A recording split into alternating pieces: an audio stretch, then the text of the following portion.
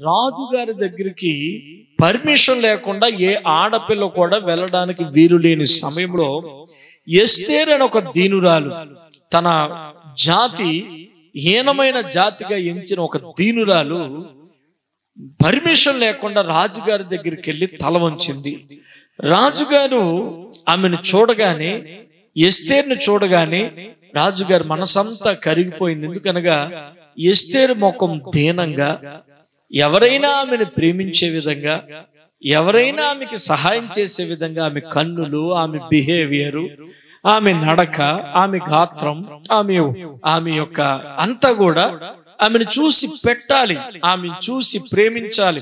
ఆమెకి ఏదైనా సహాయం చెయ్యాలనేటువంటి దీనత్వం ఎస్తేర్లో కనబడ్డాది. వెంటనే రాజుగారు దండమెత్తి అమ్మా ఎస్తేరు నీకేం కావాలమ్మా? రాజ్యంలో సగమైన నీకు ఇస్తానన్నాడు. నిజానికి చెప్పాలంటే ఎస్తేరు మరణానికి పాత్రురాలు. కానీ రాజుగారు మరణించట్లే మరణం విధించట్లేదు. రాజ్యంలో సగమైన నీకు ఇస్తానని అన్నాడు. దీని అర్థం ఏమిటో తెలుసా? ఆమె ముఖం దీనత్వం. తిర్సా కూడా మోషే దగ్గరికి వచ్చినప్పుడు ఆమె పరిస్థితిని చూసి దేవుని యొక్క కనికరం ఆమె మీదకి వచ్చింది. నీ సౌందర్యం ఎందులో తెలుసా? దీనత్వం.